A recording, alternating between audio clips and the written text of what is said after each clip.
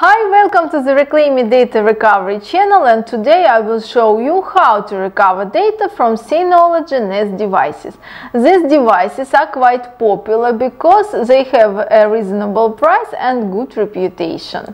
Talking about data storage, this brand has a feature. They use their own technology to combine disks of different sizes into a single storage.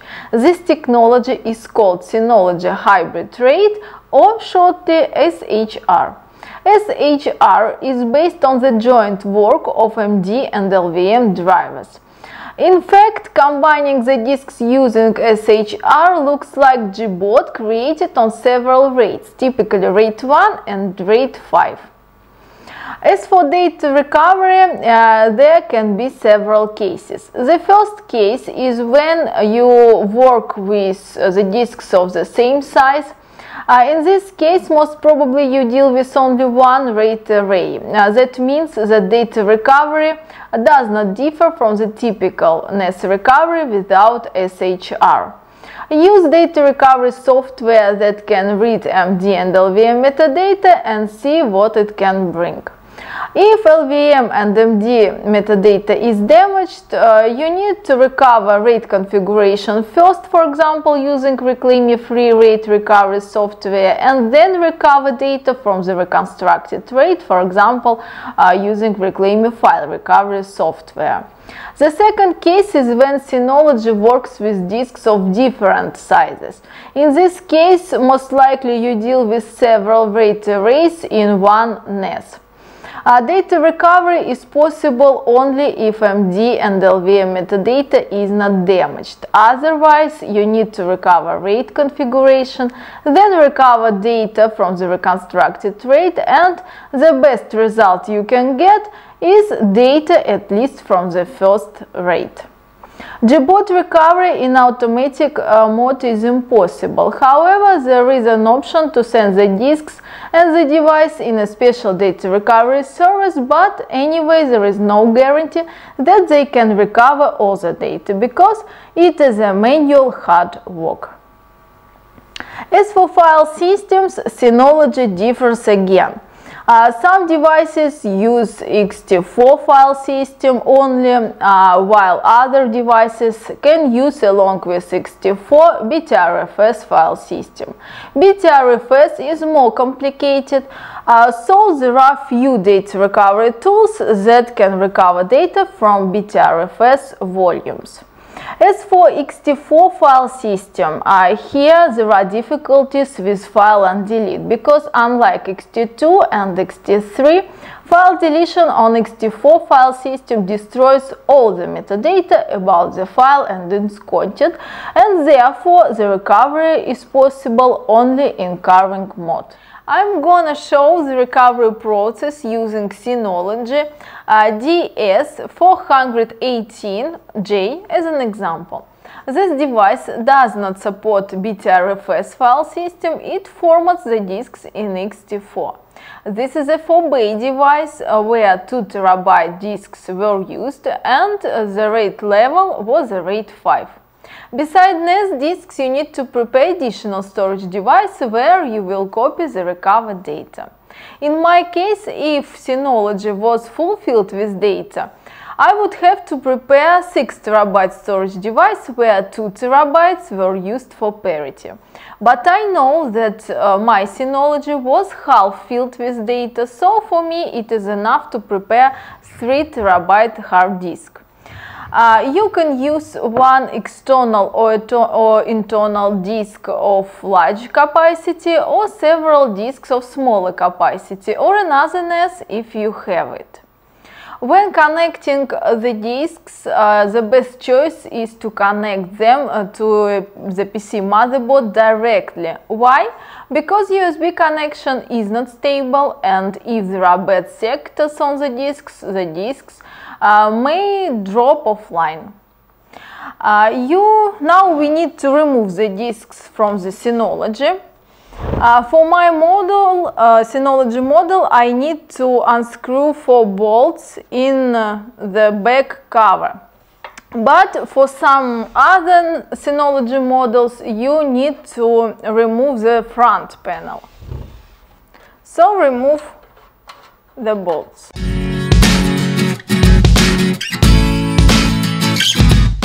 Pull the discs out.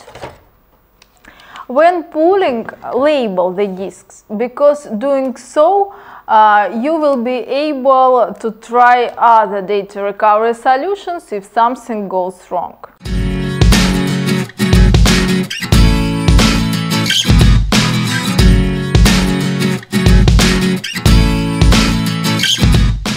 To connect the disks, you need to use SATA cables. If uh, your PC motherboard lacks, say, one SATA port, you can use uh, USB to SATA cable like this. This is my workstation. Here there are all PC components like the motherboard, PSU, RAM and so on, but they are not inside the PC box. In your case, you will probably have to remove the side cover from the PC, find the motherboard and find the free SATA ports on it. So take the SATA cable connect it to the disk and connect to the motherboard. Then find the free power cable and connect it to the disk as well. Connect the NAS disks this way and connect the device you have prepared to copy the recovered data.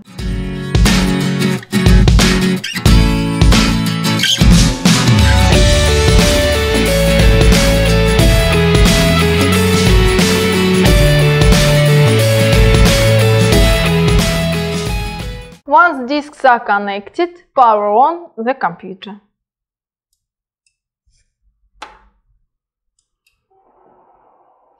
Go to the site www.reclaime.com. Download the software.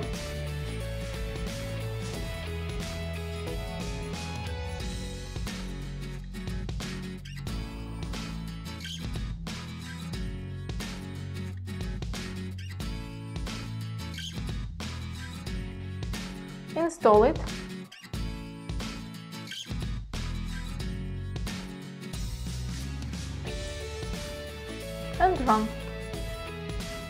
Let the software parse all the metadata.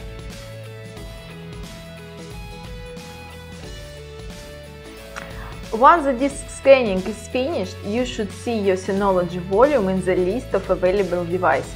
Look for the volume either under the Linux LVM volume section or under the BTRFS volumes section.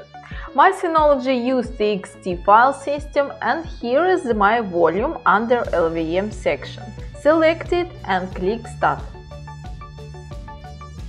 Now ReclaiMe starts the recovery and in a short time we get all the recovered folders and files. I had several shared folders on the Synology containing videos, photos, backup files and work documents. Here is the folder tree. It's time to check the quality of the recovery using the preview function. Choose images like JPEG or PNG. If they are good, all other files are most likely good too.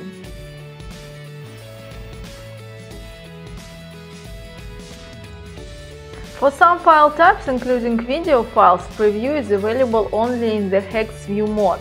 Don't worry, just save them and then open in the usual way.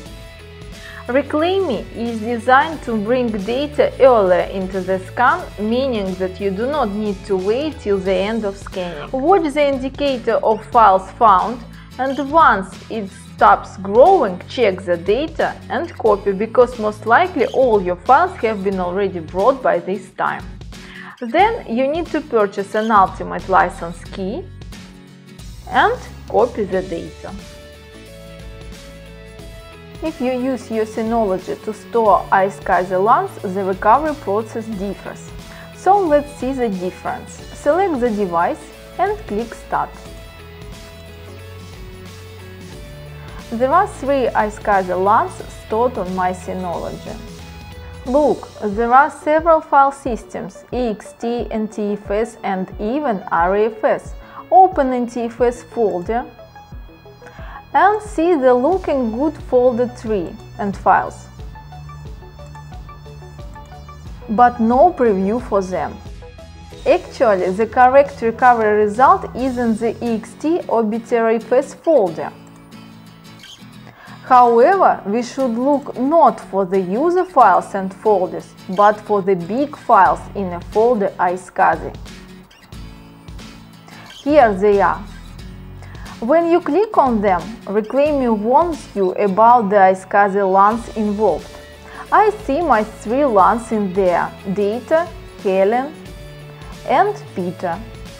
To recover data, you need to identify the LUN and click Run iSCSI Recovery. This launches a new copy of ReclaiMe where all is set to recover data from the iSCSI LUN.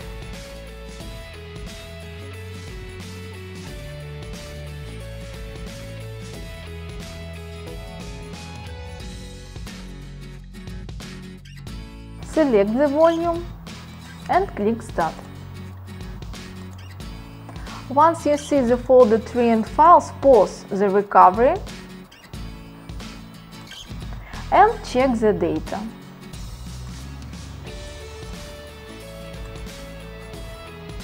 Now files are displayed correctly. To copy the recovered files, click Save. You need to do the recovery procedure for all the LUNs stored on the Synology.